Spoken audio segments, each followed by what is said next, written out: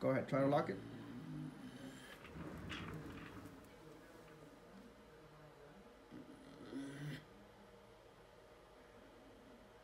He's so apprehensive.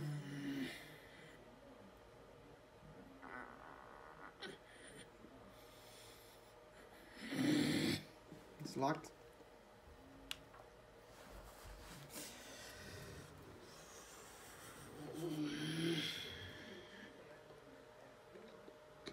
Okay. I'm sorry. Try to straighten it out. Alright, I'm gonna help you. One time. Here it is. Okay.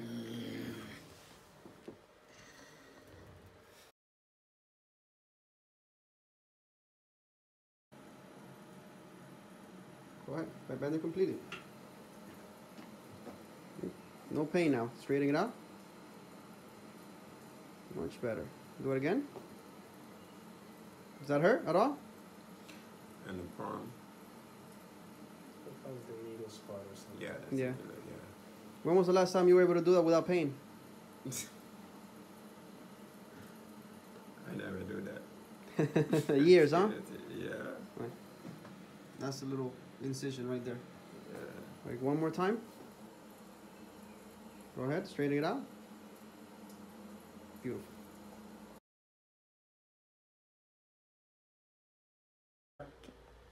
So here we got uh, Mr. Samir with one week follow up. We saw him last week. He, he'd been having horrible, horrible trigger fingers um, that uh, had been managed for quite a long time. And when he came to me, he couldn't even bend the fingers. He was, when I made him uh, flex the, the finger, he almost started jumping. He wanted to punch me. And he wanted, we decided to do the, the, the trigger finger release. And this is seven day follow up, so one week follow up Yes. and uh, he wants to he wants to do do a little uh, testimonial for us because when was the last time you, you were able to do that? Um, this is the first time since almost two years because I have that, and I could bend my finger. So they give me the injection that was on February uh, last year. I mean this year. So I get when I get June, it's coming back again. In June came and back. It was worse. And he came back It worse. was coming worse.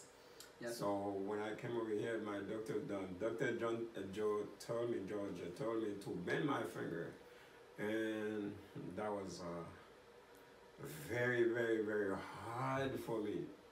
To when I bend my finger to release it, I if it's a lock, somebody had to open it for me, because I can do it myself. But today, So- I'm able to do that. Show show the incision. This is why. oh, Doc, may- well, you can see that because we use a very tiny tiny uh, blade. You can't even tell. This is again seven days after we did it. It's going to be a little bit of soreness in there for the next couple of a couple of days, but um, that that will ultimately resolve and Yes. and um, you'll be good to go. Yes. All right. So now I'm gonna be able. I could. You go have Drive easy. Yes, yes.